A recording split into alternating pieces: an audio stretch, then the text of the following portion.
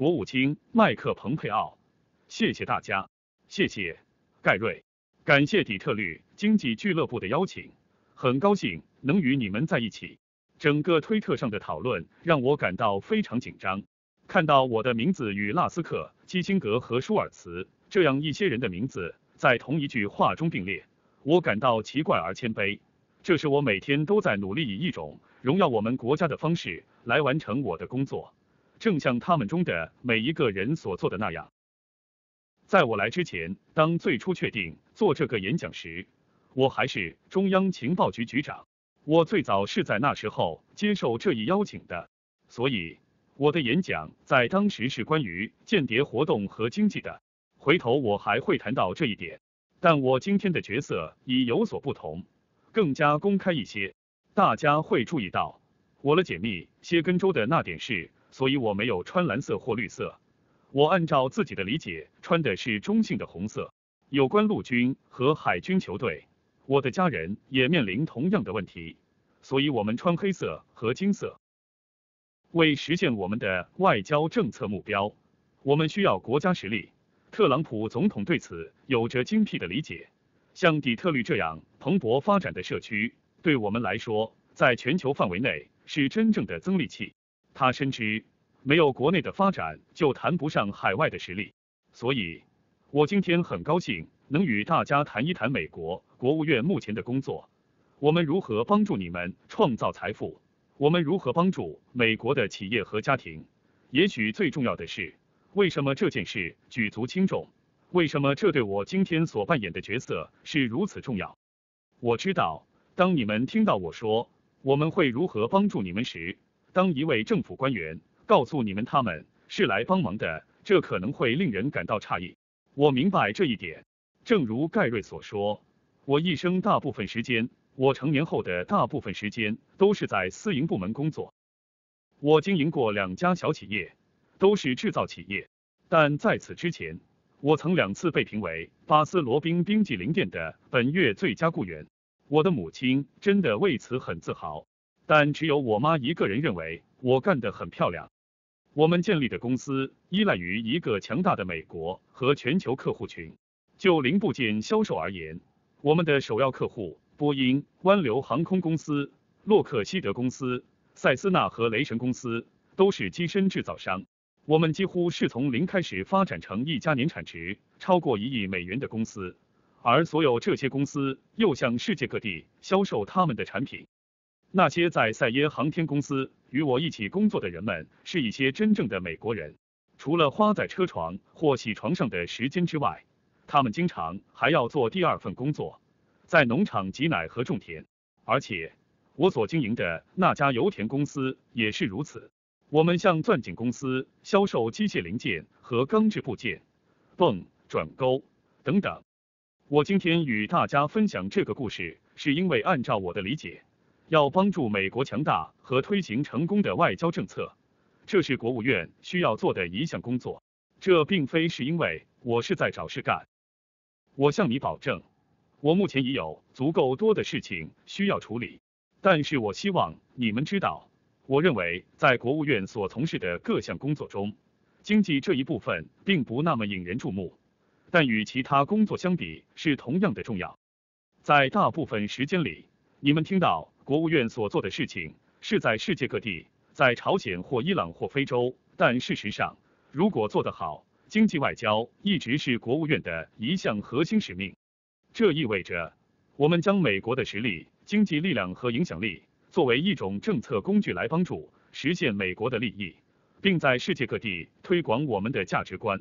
如果我们能够以正确的方式去做，它反过来又会刺激国内的繁荣。我们建立的关系。旨在创造就业机会，维护美国企业，并刺激国内的经济增长。我们也将尽最大努力谴责那些不公平的经济行为，打破市场障碍，以便我们的公司有公平对等的机会进入全球各地的销售市场。这个问题由来已久。你提到了三个伟人的名字。美国国务卿托马斯·杰斐逊曾在1790年写道：“对他来说。”保护美国在地中海的贸易至关重要，并指出，由于北非海盗袭击我们的商船，美国的贸易受到了损害。今天的问题略有不同，但是盗窃仍然是美国面临的一项核心挑战。今天，我们的经济局拥有两百多名官员，我们在世界各地的大使馆有一千五百名经济官员。所有这些人员的职责都是确保我们继续拥有全球最强劲和最具活力的经济。我们希望我们也能以这种方式来帮助大家。当你们前往世界各地时，我们欢迎你们前来访问。我们会分享一些我们在那里如何运作的见解。我们也会帮助你们应对这些地方的监管挑战。我们的任务确实是帮助美国公司有机会在世界各地获得成功，并且。我们与商务部的国际商务服务司也有合作伙伴关系，他们也从事同样的工作。我的确希望大家能够充分利用你们作为美国纳税人所提供的这种资源。我们今天的会场上就有一个很好的例子。我们驻尼加拉瓜大使馆与商务部联手，与当地的合作伙伴 Flex Building Systems 合作。我已与坐在后面的几位见过面，这是密歇根的一家生产预制房产品的公司。我们很荣幸能够与 Flex 合作。在多次自然灾害之后，他们都迅速提供了价格廉宜的住房解决方案，并帮助在中美洲、加勒比地区和非洲的偏远地区建立学校、诊所和医院。我很高兴你们今天都在这里。这是美国国务院与企业家一起成功解决问题。并在美国创造财富的一个很好的例子。如果我们能够做好这项工作，经济外交也会加强我们的国家安全。特朗普总统在其战略中提到，经济安全的确是一个国家安全问题。正如他所描述的那样，他们是同义词，确保你们每一个人都有机会做你们最擅长的事情。这对于创造一个能够加强我们的安全和自由的经济繁荣至关重要。经济外交也会加强与世界各地的盟友关系。我在经营我的两家小公司时就看到了这一点。世界各国都知道，美国经济是世界上规模最大、影响力最大的经济。坦率地说，也最具创新性。我们的盟友和我们的对手都希望能有这样的经济。经济实力是最重要的工具之一，它是我访问世界各地时最重要的信誉之一。没有这一点，我就不会有那么多的影响力。它使我们能够激励我们的盟友走向共同的目标，并坚守我们对他们的承诺。在特朗普政府中，我们的团队坚定不移地推动经济外交。我已多次与总统谈过这一点。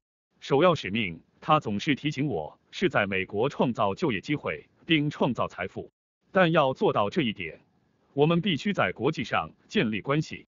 在讨论这一点之前，我想谈谈我们在大约十七个月的时间里所建立的国内记录：近三百万份工作，超过三十万份的制造业工作。这对我来说非常重要，对这个伟大的城市也很重要。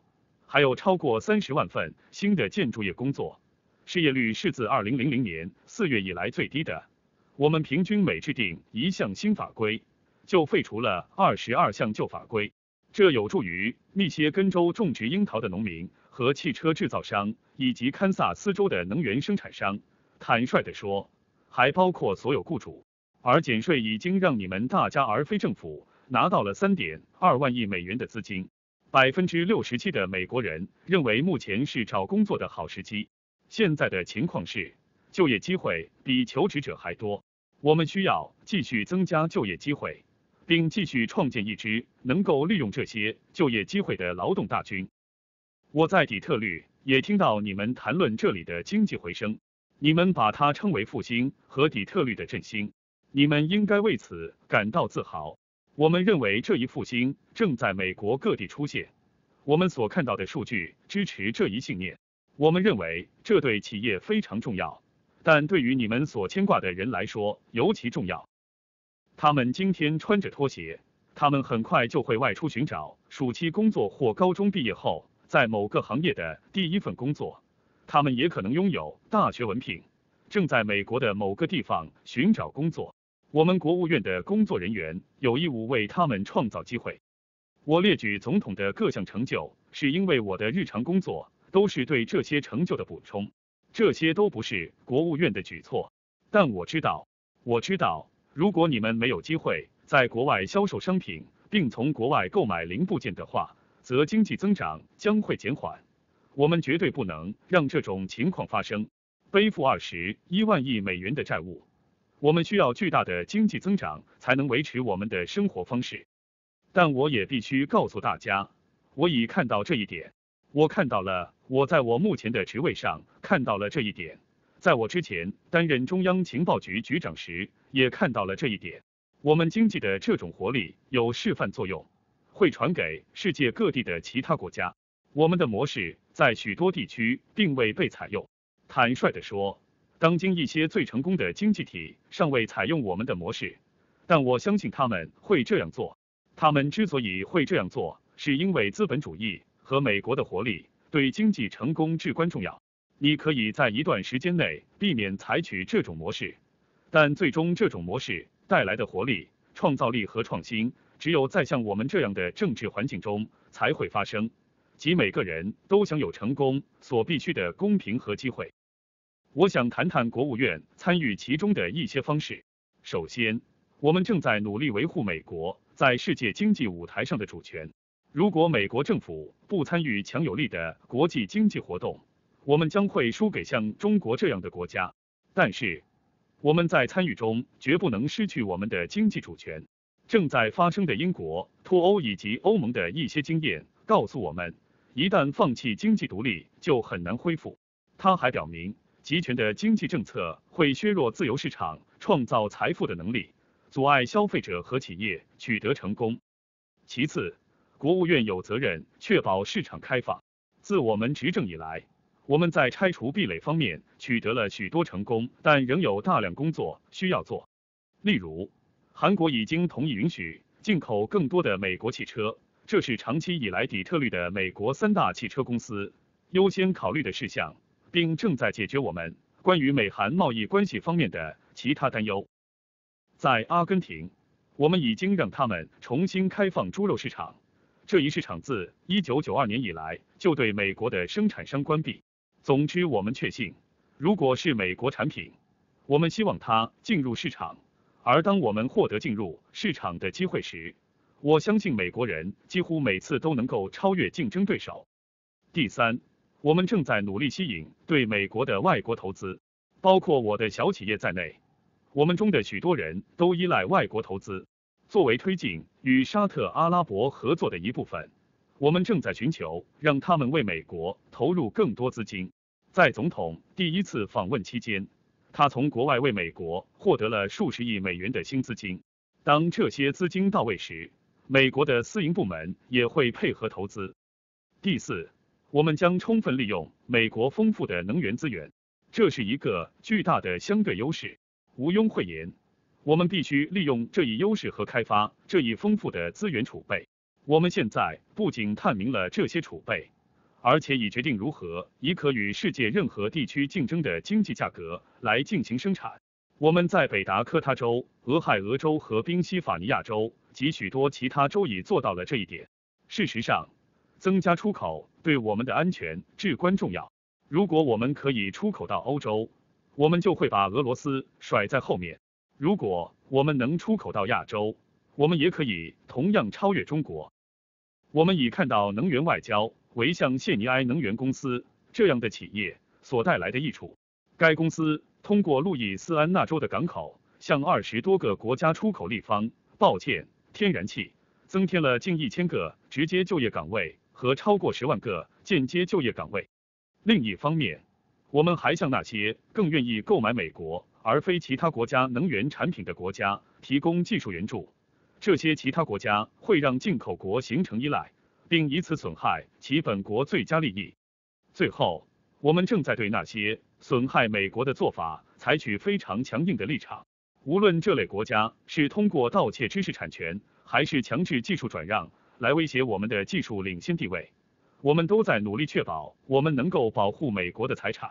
大家都知道，目前中国是主要的肇事者，这是在一个前所未有的水平上，前所未有的盗窃水平。周四晚上，我与习主席会面时已经提醒他，这是一种不公平的竞争。中国的行为者也在继续进行网络活动，所以他们不仅仅是通过强迫技术转让或通过合同方式窃取知识产权，而是彻头彻尾的偷盗。我们每个人都负有巨大的责任来努力阻止这种行为。中国也在世界各地投资，我们对此持欢迎态度，但我们需要确保这种投资不附带让中国在我们的市场或商业中占据优势的条款。他们做美国企业永远都不会做的事，即利用投资在竞争对手国家施加政治影响力和控制力。美国的外交有义务对此尽力回应。大家都已经看到特朗普总统关于关税的一些决定。